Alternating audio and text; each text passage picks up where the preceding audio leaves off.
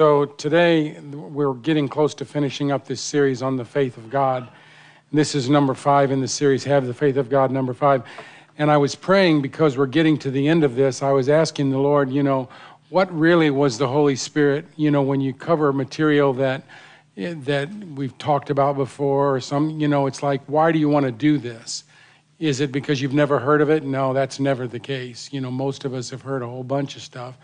But I really felt like one of the major points that God was wanting to give us was to increase our vision and enlarge our capability to understand that we create with God. We can create with God. And for most people, I, you know, man is, God has given man the ability to create, but for most people, they see that as, you know, their natural gifts and talents. I'm not talking about that. I'm talking about creating by the Spirit with the Holy Spirit. And so I felt like that was one of the points. So I want, before we leave this, and today may be the final, uh, the final message in this series, I don't know, but I just wanted to go over one of those points and then give you an application of how to do this that maybe will help you, okay? Maybe will enlarge your capability to begin to see yourself as creating with God. So let's just start out with a simple point here. Uh, we have the word study New Testament up there. And folks, this specifically, this particular verse, Mark 11 23, is probably one of the clearest verses in the Bible that talks about the fact that you have a divine right to create, okay? And I want you to be really sure that you understand this. Now, you all know the verse For whoever says to this mountain, Be thou removed and be thou cast into the sea, and does not doubt in his heart, but believes, but believes. Now let's slow down at that point that the things which he says. Now, I'm just going to throw in the meaning from the grammar. I'm not going to go into all the grammar because we've done that before. But believes that the things that he says in the present shall exist in the present. He shall have whatsoever he saith. Now, the phrase we centered on was shall come to pass. And the Greek word underneath that is ginomai. Let's put that up on the screen because this is one of the things you need to see. Nobody's going to actually do this believing that this works unless they are fully convinced in their heart that they really have a right before God to do this. Wouldn't you agree? You've got to be convinced in your own heart and mind I can do this because Jesus, the Word of God, says I can do this. This word, ginomai, that is under that phrase in the King James Bible, shall come to pass is in the present tense. And this is the meaning of the verse to begin to be, to come into existence as implying origin from either natural causes or through special agencies. To begin to be, to come into being as implying origin. What does that phrase mean in common everyday language? If something, something is originating from something, it means it wasn't there, right? And it originated, then it went from it wasn't there to it came into being. And that's what this word beneath that shall come to pass means. So the meaning of the verse is whoever says to the mountain, get out of here, and doesn't doubt in his heart, but believes that what he says in the present exists or comes into being or originates. Y'all get that? Exists, that what he says exists in the present, then in the future he will see whatever he says. This is probably the clearest verse that I am familiar with. There are other verses that speak to this issue, but this is one of the clearest verses because this verse is Jesus said, Whosoever, if you will fund this with the faith of God, and that's where I think it's been a short for a lot of people, is they've tried to fund it. See, the truth is the principles of faith are so simple, it's very easy to think that the life is in the principles, and it's not. It's in the God behind the principles. And of course, Jesus said you could do this by what? Having the faith of God, okay? If you'll make it your life's walk to walk out of His faith given to you, that funds the ability to do this. And He said, if you'll do that, now notice these decrees do two things speak to the mountain. Mountains normally represent obstacles to something, right? So you have Jesus saying, whoever will speak to the obstacles in their life and command them to go and believe that what he says exists in the present, he'll have whatever he says. The other thing that decrees do is they remove obstacles, but the other thing that decrees do is they create what the Lord says you can have. You are literally creating the result with your decrees if your decrees are funded by the faith of God. They don't create necessarily if you don't believe that they're funded by the faith of God. Well, I can go out and confess anything. I think I'll go out and recreate, I'll do what Joshua did and stop the sun. Well, that won't work very well unless you're funded by the faith of God. Amen? But if you're funded by the faith of God, and we've talked about that through this series, then decrees remove the obstacles from your life that are blocking what God wants to do. And your decrees, according to this verse, create what it is God is showing you in the Spirit. And a lot of times I think we get into this do loop of where we see something in the Spirit and we get into this mode of, we get in, you know what I'm saying? You get into this mode of waiting for God. Yes, we have a preaching voice in the, an echo in the room. Amen. Are y'all with me? You know, we get into this mode of God shows us something and we start waiting for God to do the something that we've seen. Well, this verse is saying, as God showing you something, He's waiting for you to realize that He's imparting to you the faith of God, and He expects you to use that faith through decrees to get rid of the obstacles that are in your life and to literally create what He's showing you is yours. That's isn't that different from just waiting for God to do it for you? Come on. That's completely and totally different. And that's how powerful this verse is. So I just wanted to give you that and make sure when I stand up here and say, you can create the result that you're looking for, it's like, yeah, yeah, yeah, yeah, I got it, you know. No, this verse shows you that Jesus said, if you're a whosoever and if you will live your life out of the faith of God and follow that, that your decrees can remove the obstacles in your life and your decrees can create what God shows you He has for you. And a lot of people are, a lot of the stands, the quote stands of faith are much longer than they're supposed to be. And they're much longer because we're sitting around. We know that God has shown us something. We're waiting for God to do it, but we're not putting our words and our decrees into motion because God wants to create what He's showing you through you. Amen. Now, this is a big deal, and this is a verse where I am proving to you through the languages that Jesus said, Who's, Who can do this, folks? Come on, whosoever, right? Whosoever. Anybody in here not a whosoever? Okay? And Jesus said the only requirement for this to happen was to fund these actions with the faith of God. And frankly, I think that's what, that's what has really been a, a, a leap for the people of God is because the principles of faith are so simple, it's very easy to fall into the trap of using the principle rather than funding it with the faith of God and then using the principle. Y'all get that? Amen. So, this is a verse I want to make sure you can create. Can you say that with me? Do you even believe it yet? I can create with my decrees. Amen. I can create. I can remove the obstacles from my life with my decrees. Come on, say it with me. I can remove the obstacles from my life with my decrees, funded by the faith of God. Amen. Praise the Lord. Hallelujah. Is that good? So, if anybody, because there's a lot of people, folks, I'll tell you honestly, there's a lot of people that do not believe this. You start, and you start talking. Do you, do you realize that this verse is saying that you can act like God did when He said, Let there be light, and there was light? You say, I can't create light. God isn't asking you to create light, He already did that. But He's asking you to believe His word and make decrees on the basis of His word, of what it says in the word that you can have. And then Jesus said, if you'll do this, you can create it, you can remove the obstacles, and you'll have, you'll see with your eyes in the future whatever you say. Amen. Amen. Praise the Lord. Now, honestly, and I gave you a definition in your notes of something simple to add to Hebrews 11:1. Faith is the is the product of an encounter with God where the Holy Spirit reveals something to you in the word and you choose to believe it that has all the parts. You need illumination, revelation, and then you need to believe what's being illuminated and revealed to you. Is that clear? So maybe that'll give you a little more practical gumption, you know, to, to realize this. This is not hard, but it does require focus. Amen. It does require focus and consistency. Praise the Lord.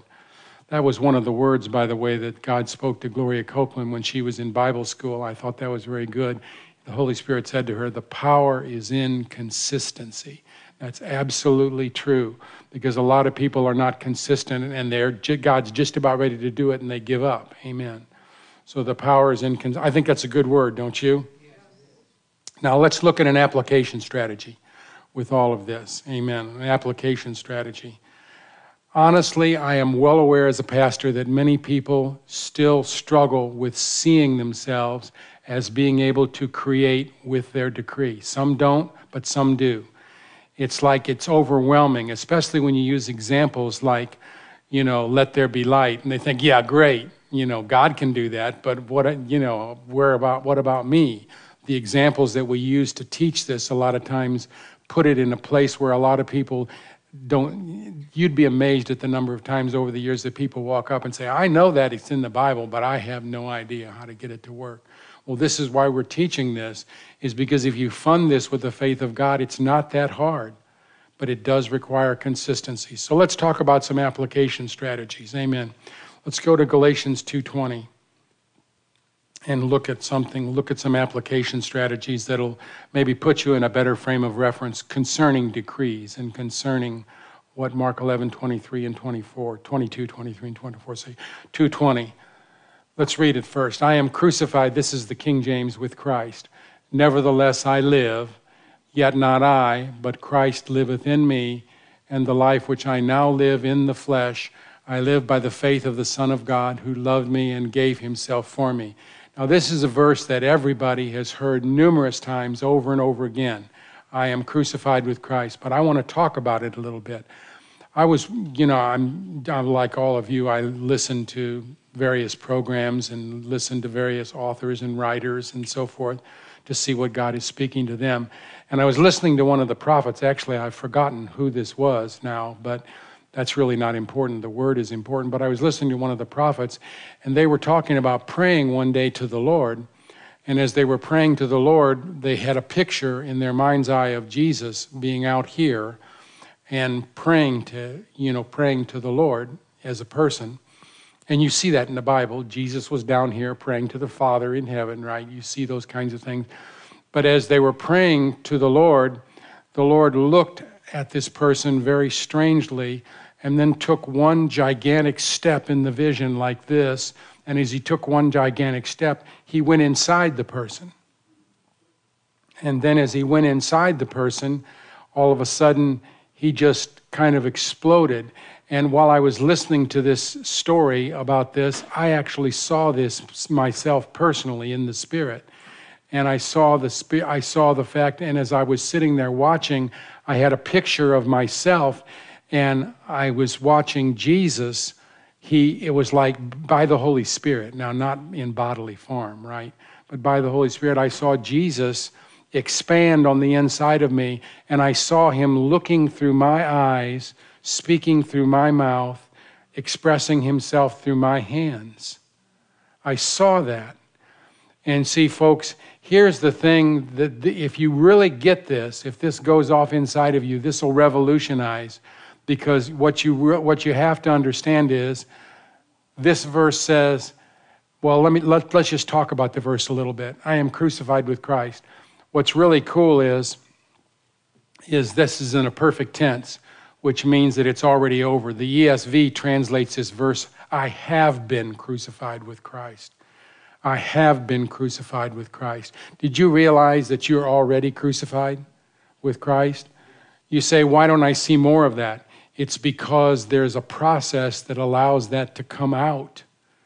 You're already crucified.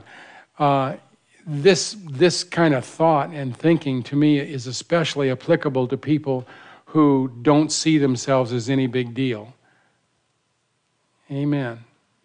You know, it's, this verse doesn't speak very much to people who think, man, I'm great, I'm smart, I'm handsome, I'm got a lot of money, I, I, I can do anything, I'm young, I'm virile.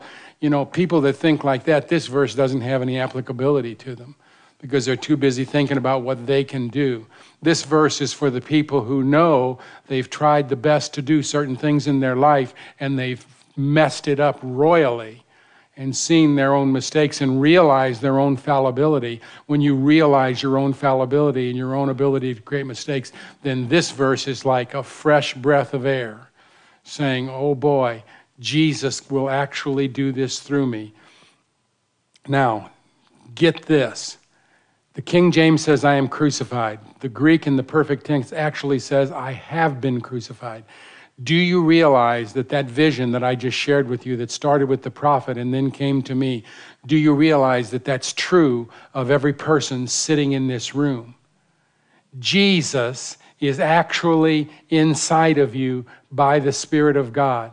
And you need to think about that. Jesus seeing through your eyes, Jesus' hands extending through your hands, Jesus' voice extending through your voice. That's why Mark 11 23 works. If you can't see yourself do it, see Jesus doing it through you. There's a couple of great notes on this. Um, the Scofield Bible, which I'm not exalting that above anything else, I just got this note from the Scofield Bible. But the Scofield Bible, right in front of this verse, says, The Christian life is an outliving of the in living Christ. Let me say that again. The Christian life is an outliving of the in living Christ within you. And see, a lot of people, they get bogged down with the fact of, well, I've got to do this and I've got to do that and I've got to go here and I've got to go there. This verse says, You have been crucified with Christ. You are still alive, but it's not you that is alive, but Christ that is alive in you. Jesus is alive in you. As long as you just conceptualize that as, well, that's the Holy Spirit and He's a force and I'm not a force, I'm a person, you know. But no, no, Jesus Himself is alive inside of you, looking out through your eyes, ready to speak through your voice, ready to express himself through your hands. Now, how many of you have any trouble at all believing that Jesus' decrees come to pass? Come on. Jesus' decrees come to pass. I dare say if we went around the room and sat down and started talking about this, and I asked each one of you, do you have any problem believing if Jesus made a decree it would come to pass? Almost all of you would probably say, well, no, of course not, but that's Jesus. Folks, He's in you, ready to make those same decrees that you think is so hard. He's ready to make those same decrees. I love that. The Christian life is the outliving of the in living Christ. Isn't that good? the outliving of the end. And when you start conceptualizing the Christian life, so you, what, what you've got is Jesus is coming out of you and living the Christian life through you.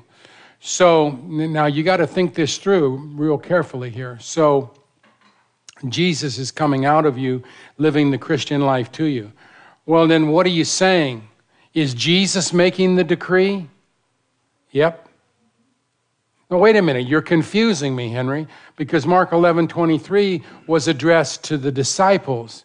So, what are you saying? I thought, I thought decrees were coming from the disciples. Yep. Are you getting this, folks? As long as you think linearly about this issue, it's very difficult to see this. But nonlinear thinking allows you to embrace the fact that two things can be true at the same time. Now, hear this carefully. When you make these kind of decrees out of Mark 11 23, and they are funded with the faith of God, it is Jesus making the decree out of you and through you. But it is also you making the decree out of you and through you. Are you hearing this? And when you start to connect these dots together, look what God has given you. And then most people say, well, if Jesus is going to make the decree through me, then that's no problem, right? Because Jesus' decrees always get met. Amen? Do you see where this goes? And all it involves is switch off the linear thinking in your head and realize that two things that appear to be different can actually be true at the same time. This is all through the Bible. This is not just in this verse.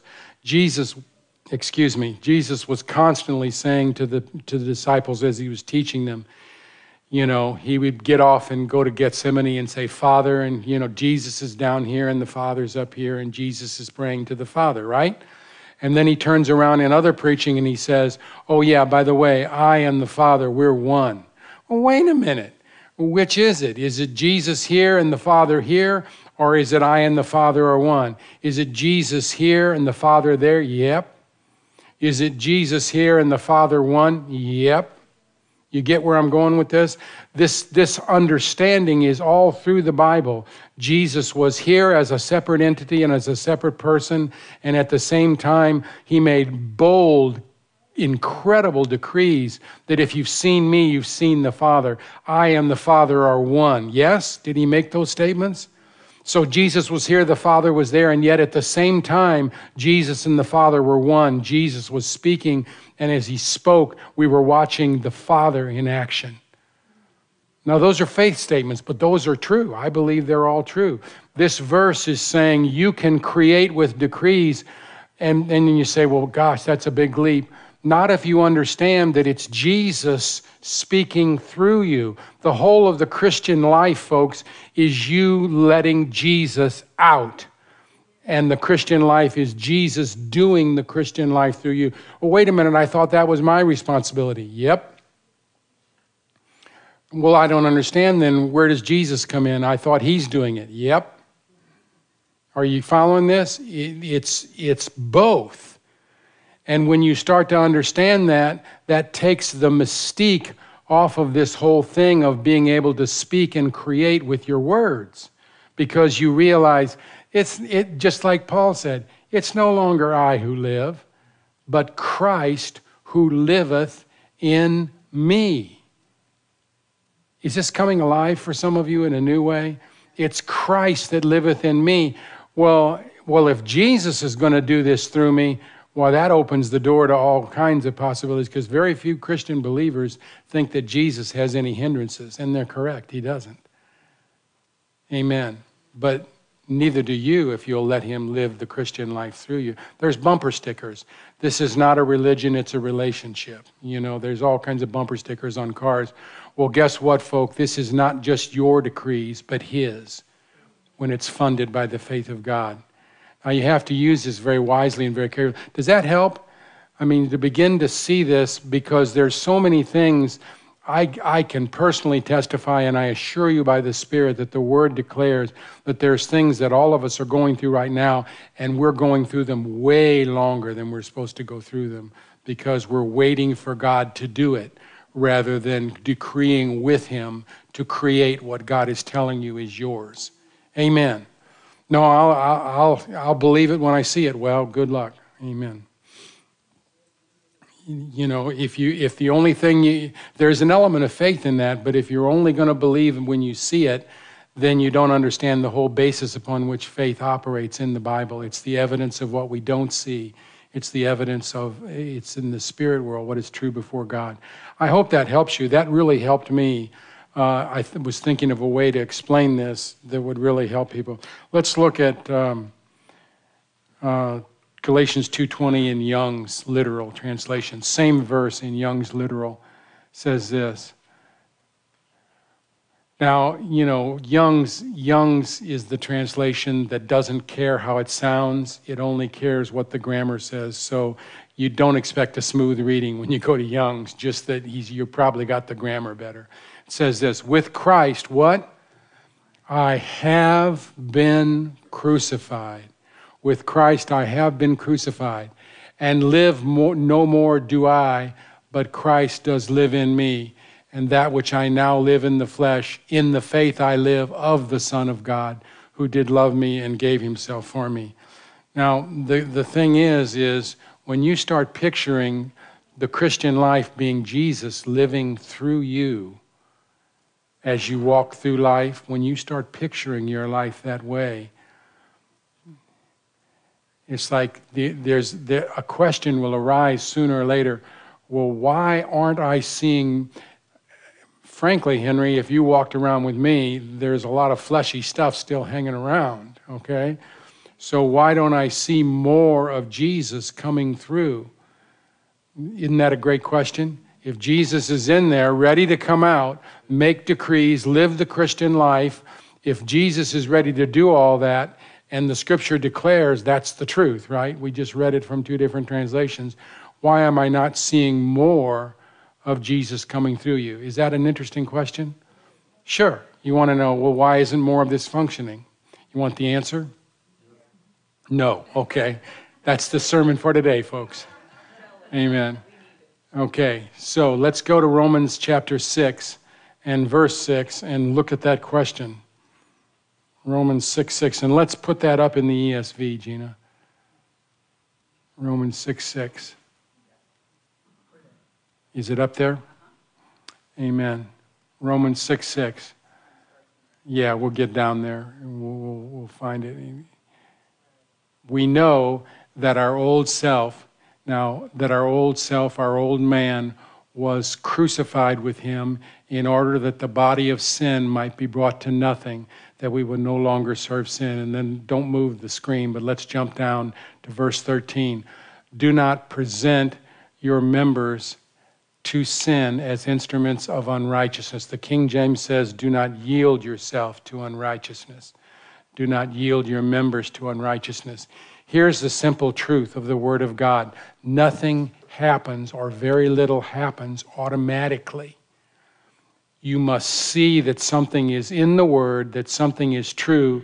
The Holy Spirit illuminates the truth, which activates the faith of God in your life, and then you must yield to that truth.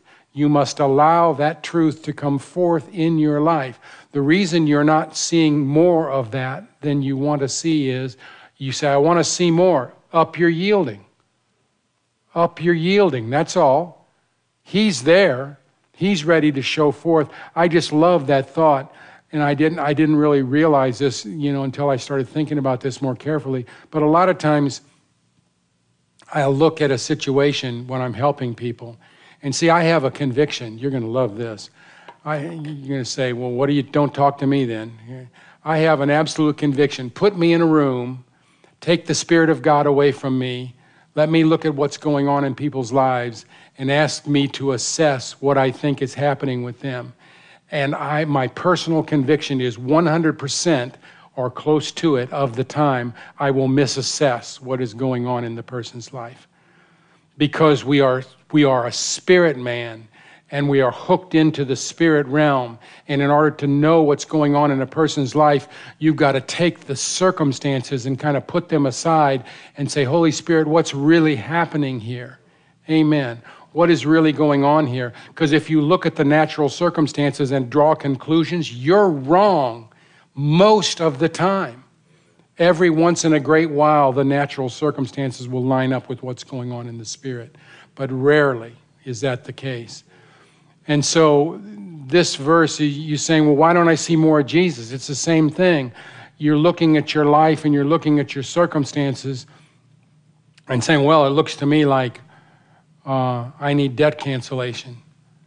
Let's say that we prayed about that this morning. So let's say that that's one of the needs in your life. I need debt cancellation. I know what I do. I need a better job. And you say, Lord, let me look through this. Let me look through your eyes at my circumstance because you've already assessed it. You need a better job with more money. And you start praying about desk cancellation, and the Holy Spirit says to you, You know, you could be a lot wiser with your expenditures. Ouch. Come on. You could be a lot wiser with your expenditures. You spend a whole lot of money on things that you really don't need. And if you start listening to me, I'll help you be wiser with your expenditures. Come on, folks. We look at our situation, we got to get more money here. And the Lord says, actually, you know, and we got to get more money here. I need debt cancellation. Lord, how does this look to you? I need a better job. And you might need a better job, but I'm just saying your assessment is I need more money. And the Holy Spirit says to me, Actually, I've given you a whole lot of money and you've eaten your seed all through the years. You've never consistently given to me and put your giving under the Lordship of Jesus and let me give through you the way I want to. You've eaten your seed over and over and over again. Yeah. Come on. Haven't you ever heard words like that? If you've never heard words like that, you're not listening because the Holy Spirit is not there to condemn us, but He is there to help us understand what, our, what we're doing with our lives. Does that help you? And see, the whole thing is, you, you know, so take your life and your circumstances, and, you know, if you've got an issue going on in your life, picture Jesus behind your eyes looking at the same thing, because He is. And say, Lord, assess this situation for me through your eyes instead of my eyes. Let me see this. I've just, you know, I've done this so many times. So I've got a, a great conviction. Just leave the Holy Ghost out of your decision making process and just welcome to the club of nine times out of ten you're wrong. That, it's that simple, folks. You know why? Because Jesus died to actually live inside of you every problem, every challenge, every circumstance, every need that you have is already provided for. And He's, he's so great that He said, Now I'm giving you all this, and I know you'll never do it right anyway, because I've got thousands of years of people who can't do it right, you know, without me, right? And so he said, What I'm going to do this time is I'm going to raise him from the dead, and I'm going to, by the Spirit of God, like he told the disciples, He's been with you, but He'll be in you, okay? I'm going to put the Holy Spirit inside of you. I'm going to grant you the new birth. But when I put the Holy Spirit inside of you, what I'm actually doing is I'm putting Jesus inside, oh boy, putting Jesus inside of you. He can meet the challenge, He has the strength you need, He has the wisdom you need. And you say, well, why am I not seeing more? Because you have to believe this, and then you have to decide within yourself that you're going to yield to Him in your life. And frankly, the preaching that I heard when I was young, I wanted nothing to do with this. Because the way God was presented to me was this he was this old crabby guy, you know, sitting in the back of a long, hard room waiting to bark at you for every little mistake that you made. And I thought, well, why would I want to yield to that? And then I started to hear teaching where I found out that that's not who God is. Well, that was good news. God is love, and the God of love is inside of me. And so, you know, what we fear then? Amen. When Jesus is ready to look at it, Jesus is ready to make these decrees, Jesus is ready to move the mountains and remove the obstacles through you. Oh, well, that's totally different. So you're saying Jesus will remove them? Yep. But I thought it was me that removed them? Yep. See, it doesn't work any other way. It's both of you. But He's ready to move through you when you choose to believe that that's true, yield to this truth, and begin to let Him out. Are you seeing this? this this you can you can overcomplicate things you can study your tripart being and spirit man and all that's very helpful in certain cases but you can get down to the point where you lose the fact that the person of Jesus by the Holy Spirit is inside of you, ready to make these decree, life altering decrees that are going to create what you need in your life. Glory to God. Mm. Well, if Jesus is going to do it through me, what's the right answer, folks? Then it's a piece of cake, right? Then I can do this. Why? Because Jesus is going to do it through me. I can do this. There's no problem. When you start thinking like that, all of this stuff comes out of this ethereal realm and comes down to a very practical application.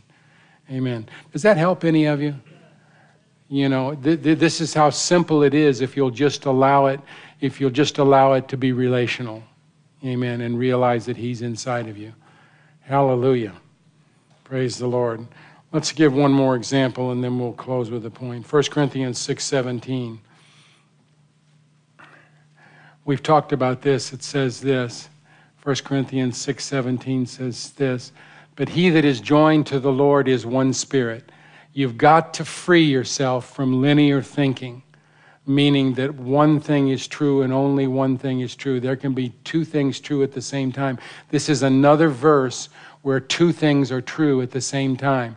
It says, He that is joined to the Lord is one spirit. And it's the number one in this verse. It is not the ordinal number, it's the cardinal number one. He that is joined to the Lord is one spirit with Him. You say, now, wait a minute. I thought Jesus was Jesus and I'm here. Yep. Well, wait a minute again. I thought I thought we were talking about this new nature thing. I thought we were talking about my spirit man. Yep. Yep, we are. Well, then wait a minute. What's this about? I, I, so, so the issue is he that is joined to the Lord is the Holy Spirit? Yep. Two things true at the same time that allow these things to work together in a way that it takes the pressure off of you. When you start to, this is a revelation. When you start to meditate on this, you realize how far God has stacked the deck in our favor for us to succeed. It don't get no better, as they say someplace, okay? It doesn't get any better than the fact that Jesus Christ, by the Spirit of God, is within you, ready to make the decrees, to remove the obstacles, to create the things that you need in your life. Is that good news or what? One last verse and we'll close for today. Colossians 1 26 and 27 says this Colossians 1 26 and 27. Even the mystery which has been hid from ages and from generations, but now is made manifest to his saints, to whom God would make known what is the riches of his glory. This revelation is to reveal to you the riches of his glory. That's why he did it this way. And then it goes on to say this the riches of the glory of this mystery among the Gentiles. Who's that? For most of us, that's us, right? Among the Gentiles, which is what? Christ in you, the hope of glory. It doesn't get any better than this, folks. You need, to, you need healing, the healer's inside of you. You need assessment, you need to know how to believe, the author and finisher of the faith is inside of you. Ready to make the decrees that will remove the mountains and will create the result that you're looking for. God bless His word in Jesus' name. Father, we thank you. We thank you for your grace and we thank you for this new revelation, Father, or the deepening of it in some of us, Father, that Jesus is ready to do this through, through us. It is our decree and it is His decree through us. And Father, we simply acknowledge that and we pray and ask for a new level of yieldedness that allows this to come forth in our lives. In Jesus' name.